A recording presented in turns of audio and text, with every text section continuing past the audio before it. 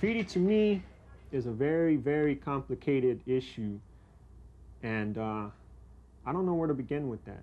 Graffiti is like all American. I mean, it's about your, it's about fame and about being popular. It's, It's something that can't be tamed. It's wild, and it's free in the in the very essence of the word freedom. graffiti is Americana. A writer is sometimes a piecer. He's the, doing large masterpieces, doing illustrations, murals, doing pieces out into the street, the large illustrations. Writers have something to say. That's why they call themselves writers. A tagger is just somebody who wants to get their name up. It's just about getting their own recognition. It's just getting recognized by their own crew. Going bombing is it's kind of like kind of adventurous, I guess. You know, going it's like you're going on a mission, like to get spots and getting away with it. And like sometimes you'll be climbing stuff. It's like, whoa, if I fall, I'll die, and you know. But it's it's it gives you a rush. It feels good. For the people who don't understand how tagging and graffiti goes hand in hand, what it was is just like a, a progress. When you first got into it, or at least when I first got into it, you did a lot of tagging to get your name out there, notoriety amongst your friends. After that, you went in and started making your name a little bit more fancier because you wanted your name to stand out a little bit more, so you started getting these bubble-shaped letters just to make it a little bit more, and that's evolving. From there, and you start working with your color and going on and characters. It just goes step by step. Tagging, to be called a tagger just limits what I am. I'm an artist. graffiti was the only form of art that, that said something to me. It said something back to me. It got me excited. When I looked at a piece, I could feel it. I could feel it in my hands. I feel it in my blood. I get excited looking at a piece, a good piece. And it just, I guess, basically it let me know, know I was alive because I could feel myself. Whereas other art, it was nice to look at, but it didn't do anything for me. At the time when I embraced hip hop and graffiti art, I was very, very, very conservative, really conservative. It just took over my mind. That's the only way I can put it. You know, I, I had a extended family, a whole crew, you know, and now all of a sudden you become popular. I want everybody to know who I am, you know? I don't want to be just another face in the crowd, you know? If, if I'm going to be somebody, I want people to be like, oh, Nerve, yeah, I know who he is. I want people to know who I am. I don't want to just go through life just being, you know, not, not restricting myself to friends, restricting myself to my neighborhood. I want to be everywhere.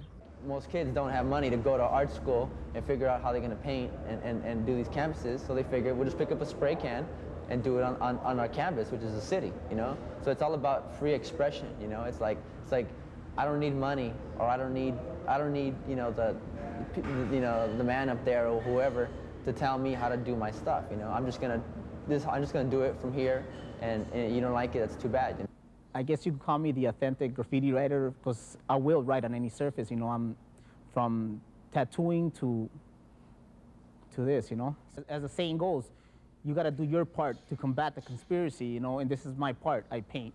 I think graffiti has has allowed me to evolve in this manner of like actually viewing life and and being more uh, sensitive to certain to certain things going around in in my environment because of of of like certain cliches like you are a product of your environment. And that's true to a point because the environment that you grow up in becomes part of you and you become part of it, but to a point because as soon as you reach that point, you know. Because everyone feels like someone's trying to control them.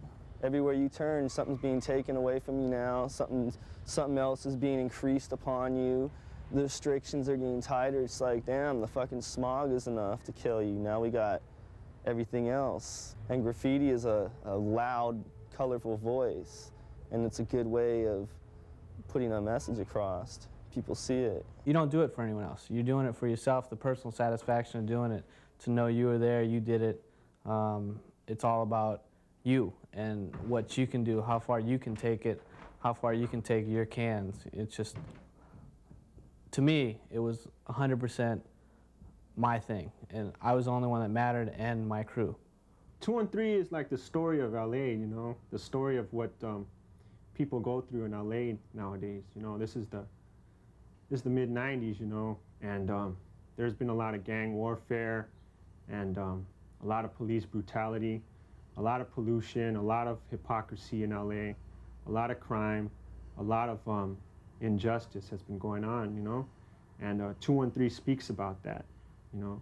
Like um, with our artwork, um, a lot of times it's different from a lot of other graffiti artists in the sense that a lot of graffiti artists will talk about the issues going on right in their work. They'll put paragraphs talking about what's going on, or they'll they'll depict what's going on like at face value.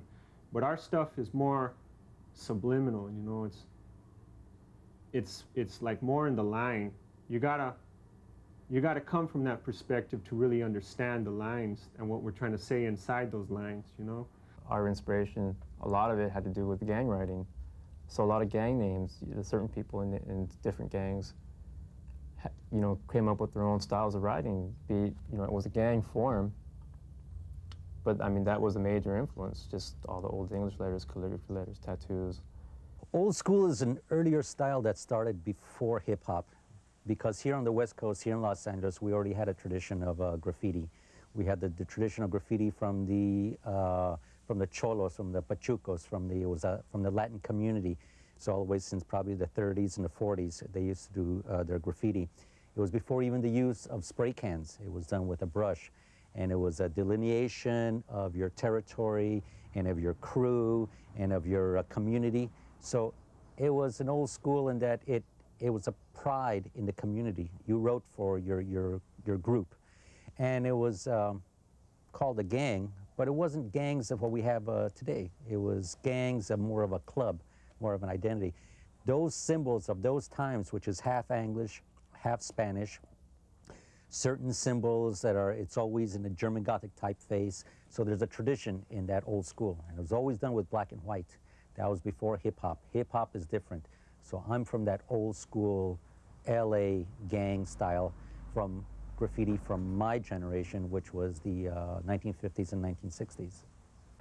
Around 84, me and uh, a buddy of mine, Pedro, PJ, he, uh, we hooked up, and some of his friends that were more into hip hop and break dancing, and I would also try my uh, try my goes at break dancing. Never was good at it. But yeah, Pedro and me and this other kid, rival Nathan, uh, we all hooked up as ISM, and uh, we were just uh, tagging around and doing stuff, and we all of a sudden came up with this name, uh, West Coast Artist. And we are like, yeah, that sounds good. And, and then from there, we just started with that, and we kept it.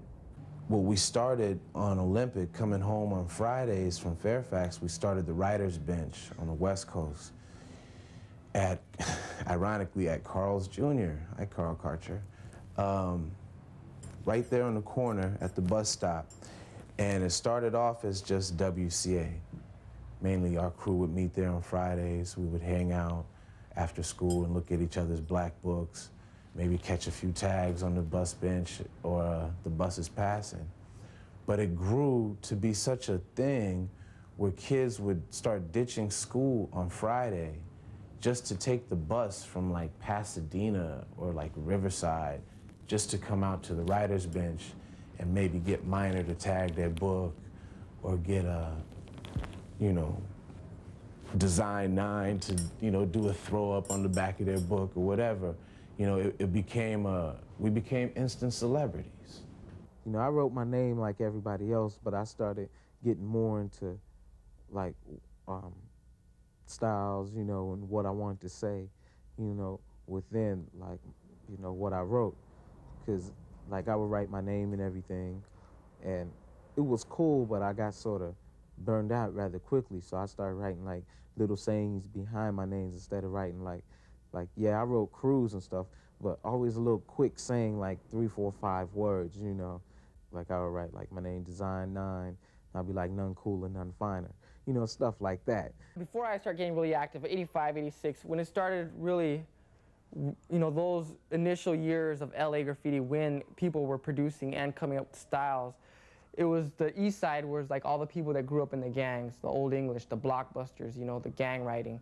So like a lot of those, that type style lettering kind of evolved into the graffiti. Whereas where we saw that point of view, like the West Side writers, they evolved from the New York influence more so.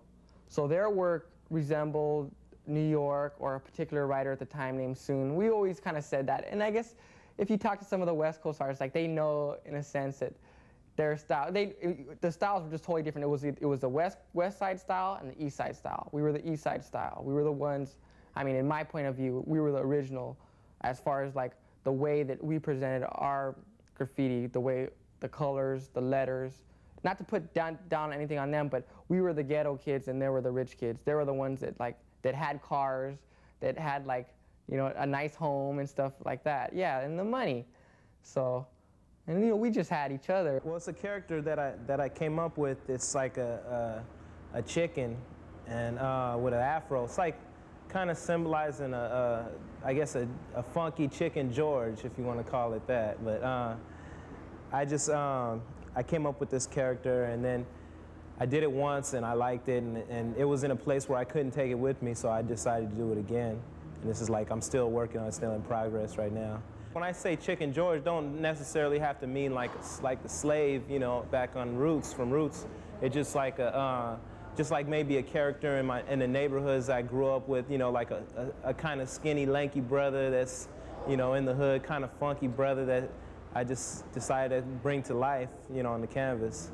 He just kind of looks kind of crazy, like one eye, like you have one eye is real bugged out, like he's kind of checking you out, and the other eye is kind of like it's not finished yet, but it's kind of jacked up. I guess maybe got put like he got messed up or something sometime in his life, and like his eye, other eye's gone. So I just put the yellow spot there.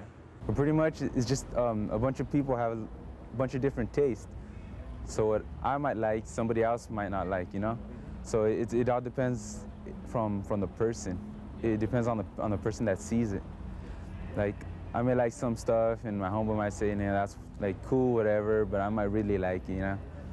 And my my homeboy's been working on a style, on a wild, different type of wild style, where uh, you can't really see the letters. For us, you know, that that's wild style, and then we might look at somebody else's wild style, and that might not be, you know, so wild for us. And then, but somebody else that doesn't know our style might think, you know, that's, you know, hectic. I wouldn't be able to stop um, piecing or drawing or anything like that. Because once you get into it, I, I guess you could say it's kind of like, it gets to be like a ritual. You know what I mean? Just piecing and piecing every week, trying to like come up with more ideas, more styles, trying to stay ahead and trying to make it look cool, get can control and all that.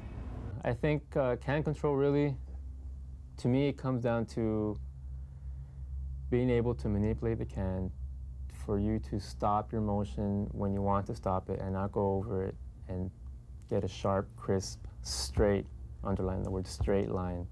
I mean, that's what can control is to me. Newer generations to really practice and get an appreciation of and further their own letter styles to come up with new styles. It's like I said, an S, you know, how much of a variation can you get from an S? It's just a curly sign. That's where the creativity comes. I mean, that's what I think graffiti is all about, about going to a wall and freestyling a letter. And it's, you know, it's an S, but hey, it doesn't look like your typical generic S. How do you know that it's an S, though? Because you've seen other letters that look like that or approximate it are not exactly this one, but they approximate it. And therefore, your visual language has grown. Your vocabulary of what you've seen, you could tie it into that and associate that with an S. The more you've seen, the more off the wall styles you've seen, the better you're at. We groove off each other's vibes, you know. I, I see it a lot like um, like jazz, like when different musicians come together, Dizzy Gillespie or, or John Coltrane playing with Miles Davis, they feed off each other in a certain type of communication that outsiders can't really understand. Fans of jazz can understand jazz to a certain extent, but never as deep as the artists who are communicating with each other through that, that form of sound. I think in the same way, graffiti is like that. Graffiti is very communal. Graffiti is very uh, interactive. And um, artists feed off each other's work, you know. This guy here, man, he has some pretty um, crazy style of um, of um, feelings. You know, he goes for like different, more of um, like like action. Like you can see his stuff is like action, like moving and stuff. It's pretty. It's pretty good. Like he throws in like a lot of cuts, a lot of little nicks. He does a lot of nicks. See, so like it's like like it's like an action, but like kind of exploding. It's pretty weird. And he has all these rugged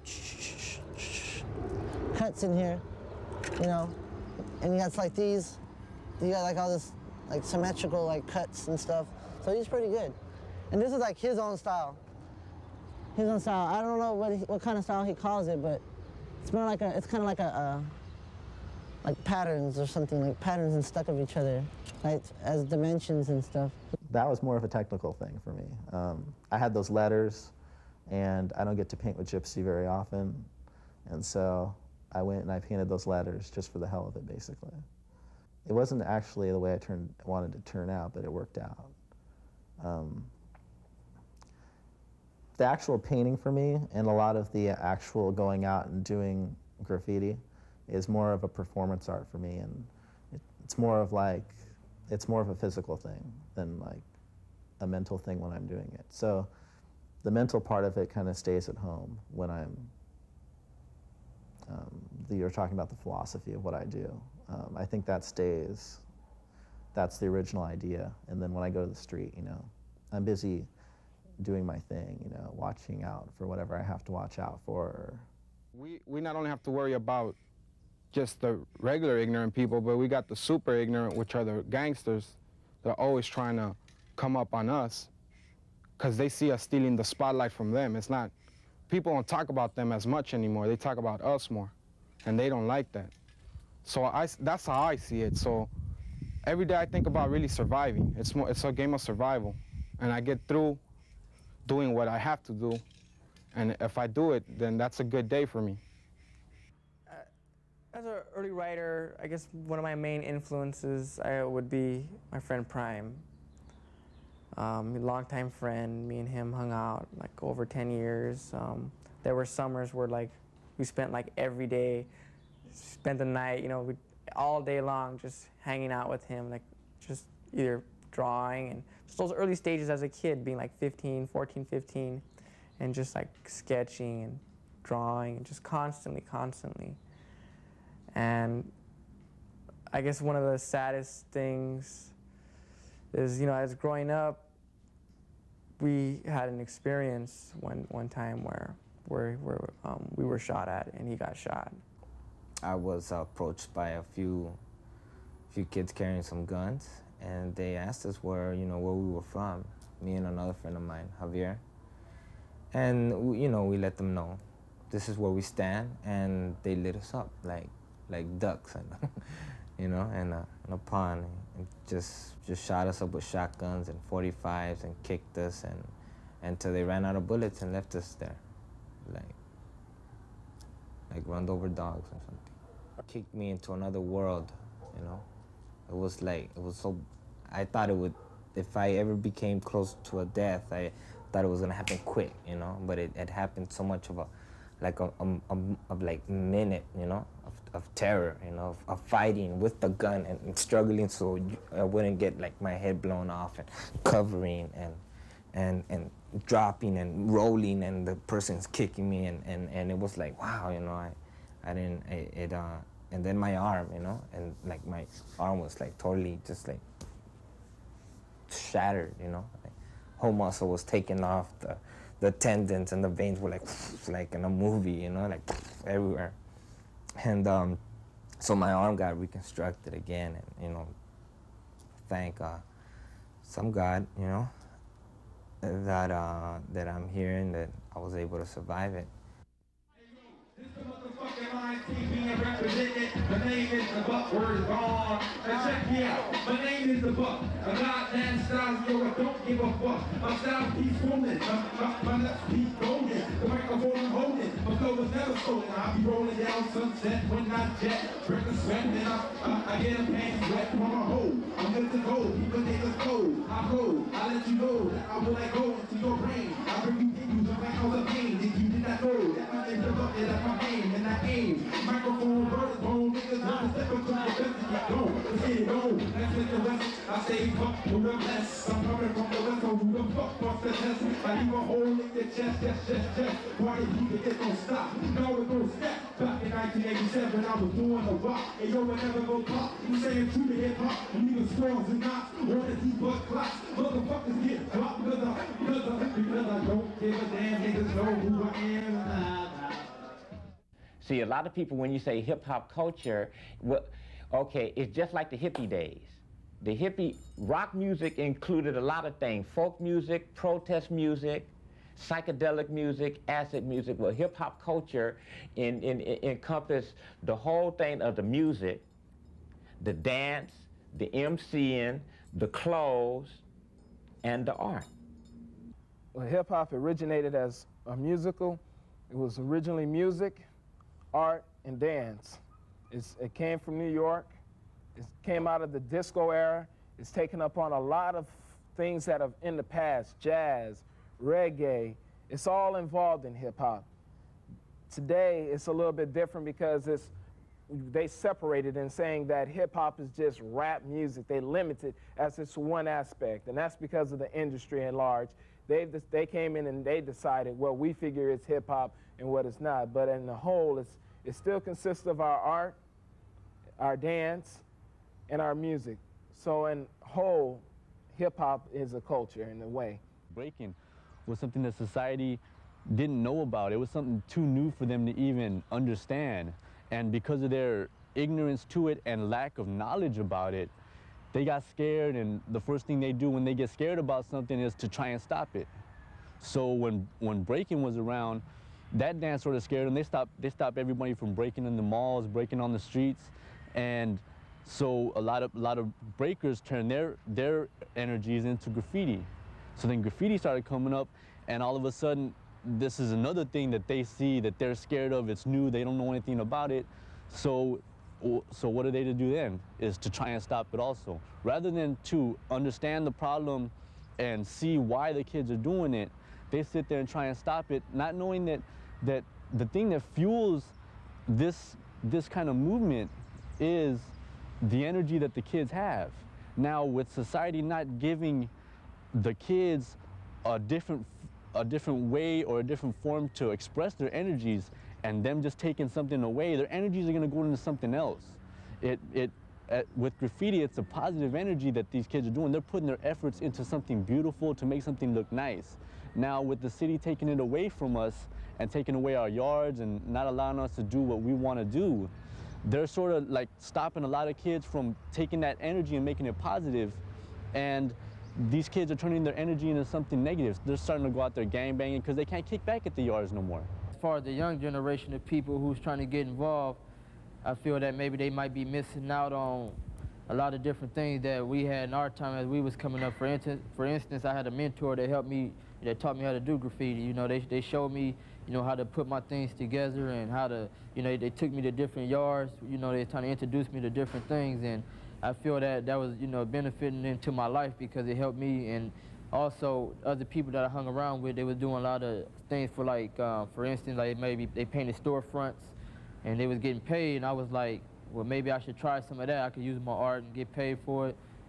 And then on the other hand, I could just do it, like I said, for my own self-satisfaction, you know. I was born with the talent, I guess. My mom's been an artist and everyone, so it was naturally in me to draw and just be creative. And uh, being creative wasn't enough for me. I wanted to get into some trouble. I wanted to see some action. I wanted to express myself, but not in such a boring way, I guess. I don't know. I told my, uh, my teacher when I was a little kid, she asked me what I wanted to be when I grew up. I told her I wanted to be a terrorist or an artist, so something, something like that. It goes back to when, whenever I'm doing my things, I, I try to think of uh, all the BS we have to go through for just a lot of times I think about all the the crap we have to go through just because my skin is brown and stuff like that. You know, I, I, get anger in my head, and sometimes I'll I'll let that show on the wall. I'll let it show with like some fierce lettering or something, or a, a, a fierce comment. Like I'll put something, you know, watch out, the aliens are coming. And right away, people see that, and, and you know they'll have something to say about it because they see me doing it, and they're like, "Oh, what's he trying to say?" So they get afraid because they see some knowledge in there, and they see that it's in their eyes, some like ghetto youth. So they're like, oh, you know, what, what are these kids up to? Whatever. 200 years from now, you know, we'll be in all the books. I mean, not even, I mean, even 50 years from now, we'll be in the books and we'll be, you know, giving lectures and teaching kids about graffiti and stuff, you know.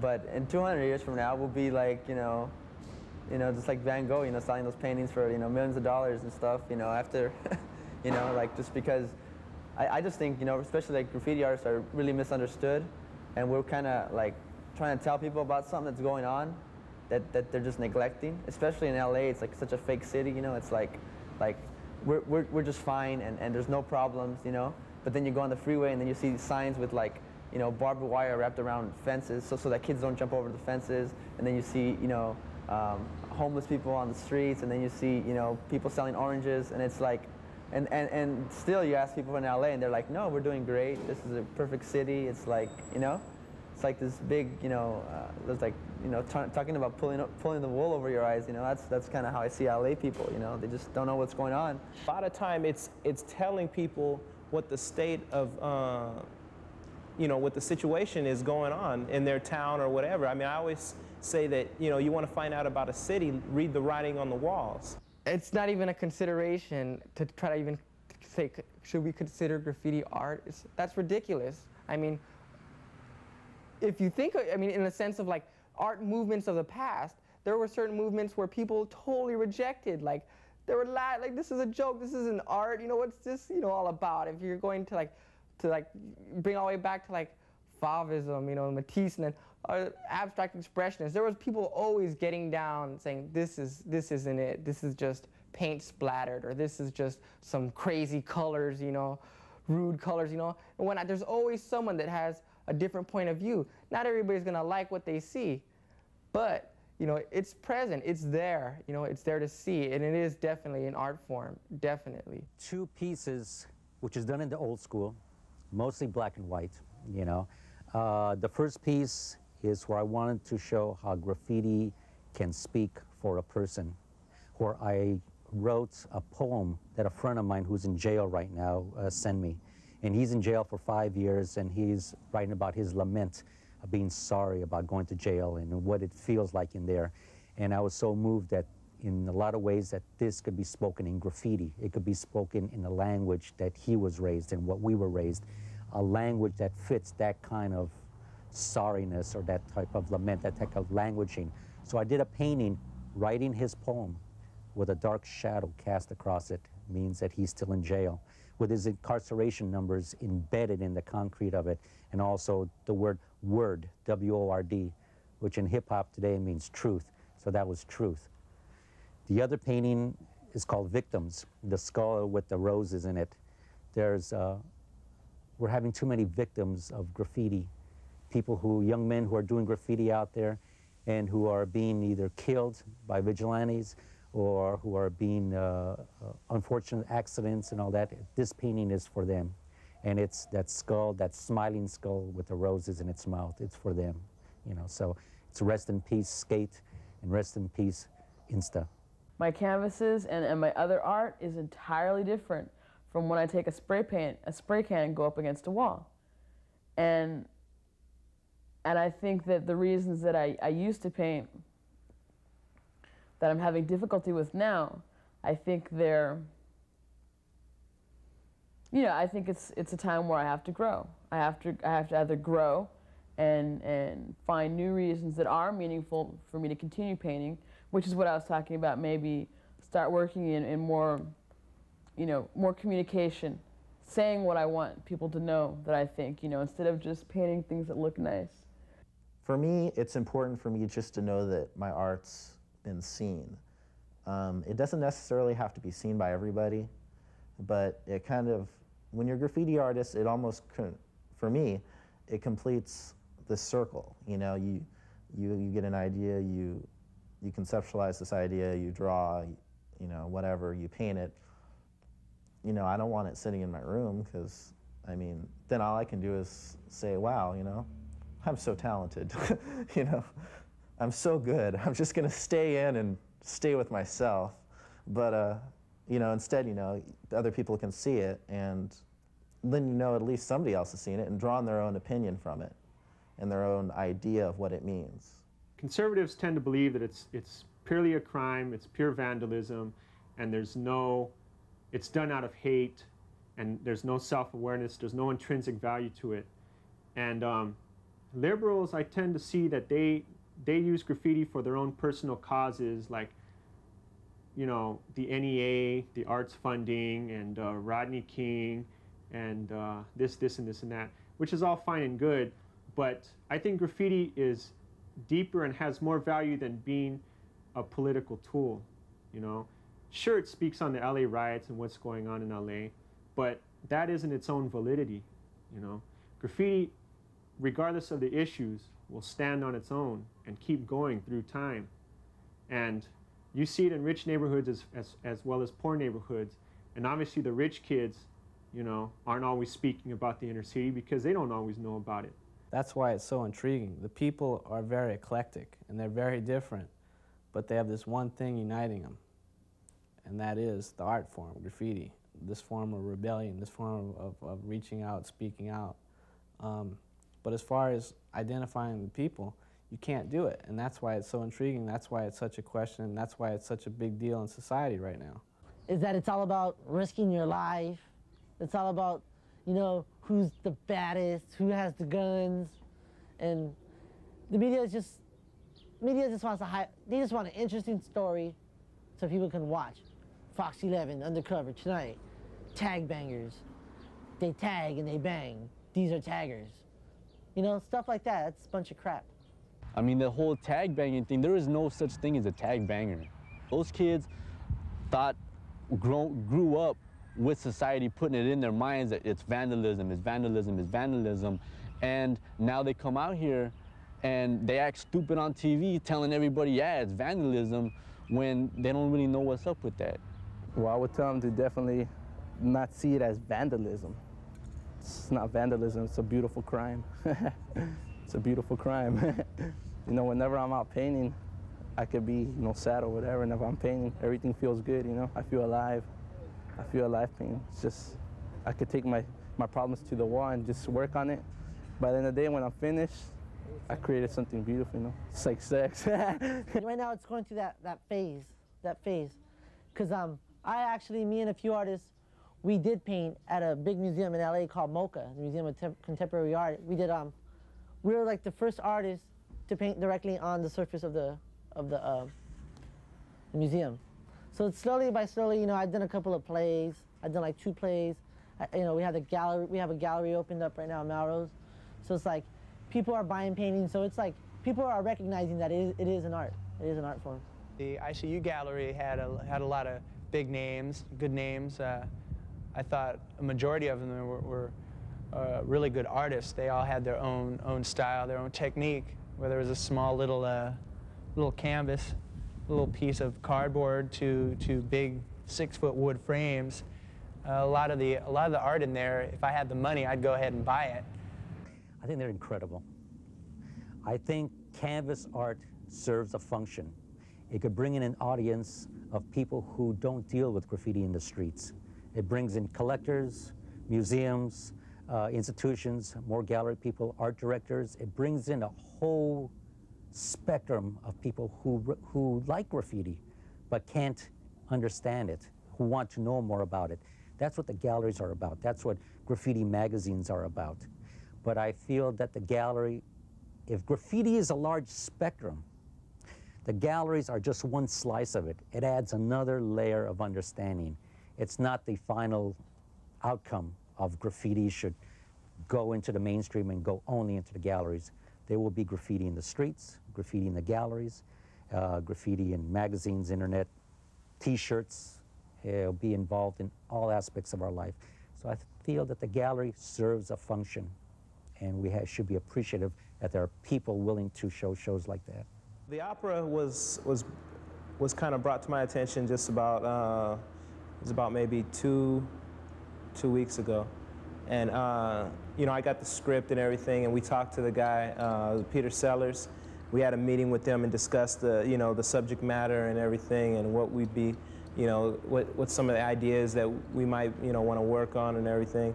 and he pretty much gave us a freedom to interpret, you know, what we wanted to about Los Angeles, which, um, you know, was very helpful, you know, and, and, and he, just, he just didn't, I've worked where I've worked other jobs for people and they were like, you know, they wanted to hire me, you know, because of what I did, but it was like, once they hired me, they wanted to tell me how to do what I do, you know, and it, it didn't, you know, it doesn't really work out. They don't get a really uh, good piece of artwork then. They get something that's half theirs and half mine, you know, or a little bit mine and mostly theirs.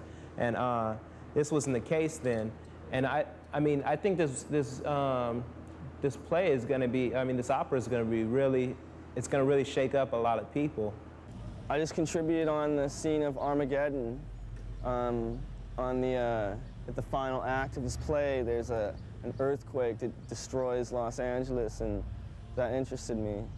Everyone has this like insane image in their mind that's been implanted there since they were born about the day that the earth is going to die and people are going to be killed and Jesus is going to rise up and be resurrected and lava is going to blow from the ground and all this insanity. So, uh, and then there's this whole other chaotic insanity going on with the underground people thinking that flying saucers are going to come and save everybody. So it's like Jesus is above the television. The man was stealing his television to get his piece of whatever he believed in. He got killed for it. He dropped it. The TV's on, and you don't know what reality is, whether you're looking at the TV and that's what's going on, or if all the insanity around you is what's going on. And you don't really know what to believe, and that's just the way life is, kind of. It's an opera by Peter Sellars. It's called um, I was looking at the I was looking at the ceiling and then I saw the sky. It's like an opera about, uh, it's about the Northridge earthquake that happened here in LA like a year ago or whatever.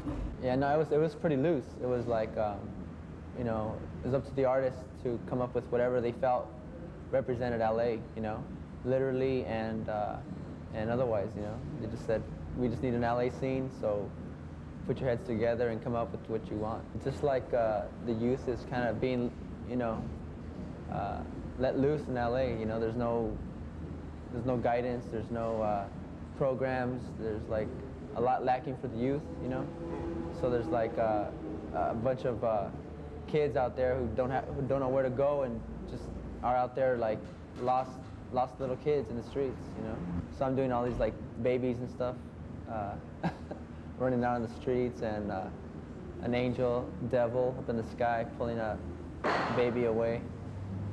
So it's kind of like uh, where I feel is going on in LA about the destruction of the youth and stuff.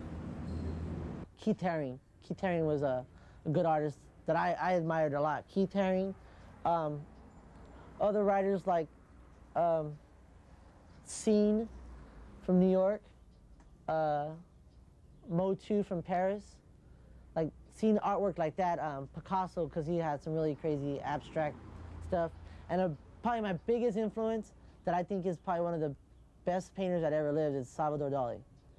Because he was in, he, he reminds me of like a graffiti artist. You know, yeah, it's realistic, but it's not. You know, he'd have things melting and twisted, and a lot of artists, graffiti artists, are in that twisted mind, you know, the same kind of mind that he's in. Just like, as well as um, Vaughn Bodé and Mark Bodé, Cheech Wizard, that was probably one of my biggest right there, Cheech Wizard, and all, all of his his um comic books and stuff like that. Like the the old school pioneer artists like uh, Afrika Bambaataa.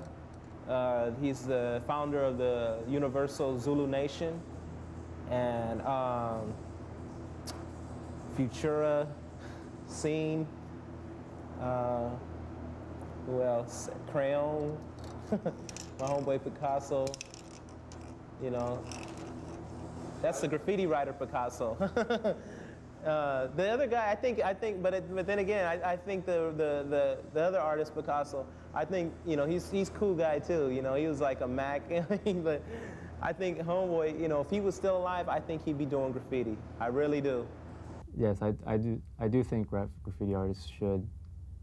Um, I'm not going to say study formal art in universities, but I do think that they should educate themselves in speaking, in writing, so that people can understand them better. Because a lot of times it's not that people are, you know, ignorant and blind and don't want to see graffiti.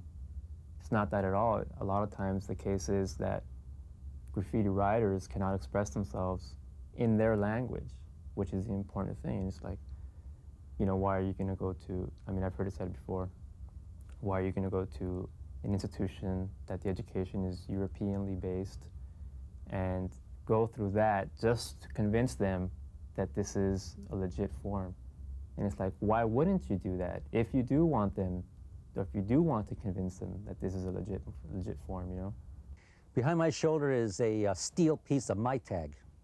This is my tag. This is what I was doing in the streets from 69 to about 85. I did about 15 years of my own graffiti into the streets. Um, I would do it European style with a large stencil. I started doing that in uh, uh, 69, and I would take two of us to, to put it out there, and I would do it only in my neighborhood. I'd do it in Highland Park, and I was involved in uh, Hollywood. Had a lot of friends up there, so I would stencil it up there in Hollywood. And uh, that's what represents me. It's a good luck symbol. It's called Señor Suerte, Mr. Luck. It's a gangster style, New York style superfly hat, big fur collar, and it's fingers crossed with a big smile, and it means a rebirth. If you believe in this symbol, you will live forever. I kind of think it's the happy face of the 90s, you know. So, but that's, that represents me. That's my tag. Now is this moment in time what's happening now. Okay. Just like the music is now, uh, the dance is now, the graph art is, is now. You know, they don't want to study no old masters. They, they, they, they, they, they don't want to study body form. They want immediate gratification of seeing my idea being made manifest. Already in cyberspace, and they are tagging cyberspace just like they tag uh, uh, uh, on, on people's buildings. Like a hacker, you can hack into systems and tag all across cyberspace. Tagging, I can tag on a classified or I can tag somebody's email. Okay. And then that way you're making people recognize that you do exist. Okay. On internet, I have access to over 3 million people. Hopefully, in the way in the future, they'll say, yeah, you know, all these people here were a part of a big movement because graffiti is moving up and it is going to be sooner or later you're going to see it in front of every cornflakes box in front of instead of pepsi's going to change its symbol it's going to have some writer doing it for them everybody's going to change. And they're going to start jockeying this. And then years from now people are going to look at these right here and say these are old ruins but you know it's going to be like egyptian writing or something. They're going to know they're not going to understand if they don't educate themselves right now to what's going on. It's not just us, this is worldwide. So from right there, you know, just like to say, you gotta wake up and start seeing what's really going on. Smell the aerosol. Because this movement's coming, it's coming hard.